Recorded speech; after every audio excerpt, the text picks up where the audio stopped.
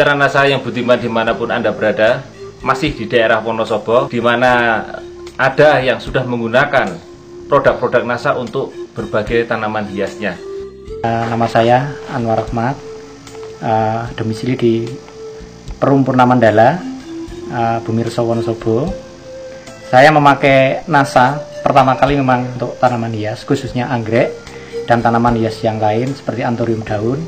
Di belakang saya ini ada Eh, contoh-contoh uh, yang memakai NASA. Ya saya pakai NASA mulai tahun 2005, 2005 terutama waktu itu memang untuk anggrek ternyata uh, cuaca kondisi di Wonosobo memang bagus dan didukung dengan uh, pupuk organik yang saya pakai. Ternyata memang hasilnya itu memang bagus.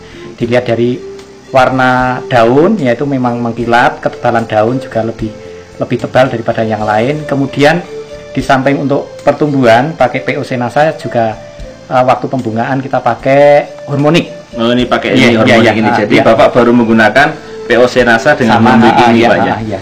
Untuk 0 sampai ini sudah berumur sekitar 2 tahun kita memang selalu pakai POC NASA dan menjelang berbunga kita pakai hormonik. Kalau untuk umur 0 sampai 5 bulan kita pakai PUC-nya ini satu minggu sekali intervalnya. Hmm, dosisnya? Ya. Dosisnya uh, kita satu tutup botol 2 liter air hmm. untuk PUC-nya. Ya. Kemudian umur berikutnya? Uh, umur berikutnya kita untuk masa hampir masa produksi kita interval satu bulan sekali. Satu bulan sekali. Ya. Dosisnya? Uh, uh, dosisnya sama, tetap sama. sama ya. Satu bot tutup botol ya, untuk 2 liter, liter air. air. Ya. Kita semprotkan dan kita siramkan ke media. Kita pakai produk PUC NASA. Ini dari umur sekitar tiga bulan. Kita selalu pakai PUC dan untuk mulai pembungaan tongkol kita mulai pakai hormonik ini bisa bisa dilihat dari ketebalan daun hijau daun. Ini sangat nyata. Sebagai pemakai ini nyata-nyata kita sudah ada hasilnya. Ini untuk anthurium daun. ya termasuk ini jenis Garuda.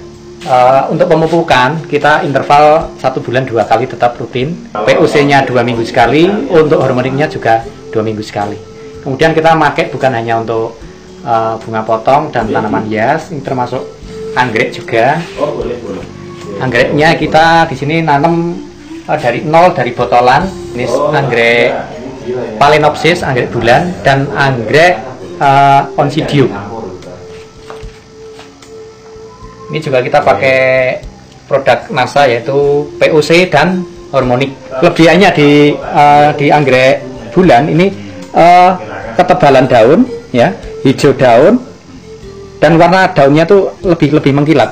Kemudian tidak pernah berhenti masa produksi bunganya. Seperti contohnya ini. Ini belum habis, tapi ini sudah muncul lagi. Ini kita saya kira ini dampak dari hormoniknya. Di sini memang tidak pernah yang namanya bunga itu berhenti selalu bergantian terus. Kita pakai juga di samping uh, antrium daun yang lain ini yang tadi antrium garuda ini jemani. Ini juga ketebalan hijau daun sudah kelihatan pertumbuhan ini baru umur sekitar lima bulan sudah kelihatan seperti ini. Kemudian kita pakai juga untuk uh, gelombang cinta.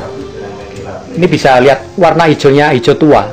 Hijau tua mengkilat ini pertumbuhan sangat bagus sekali untuk uh, jenis tanaman hias. Kita pakai mulai tahun 2005 sampai sekarang, alhamdulillah kita cocok dengan PUC NASA dan hormon.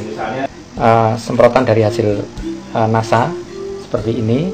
Kemudian di samping uh, anthurium daun, kita juga pakai untuk jenis aglonema.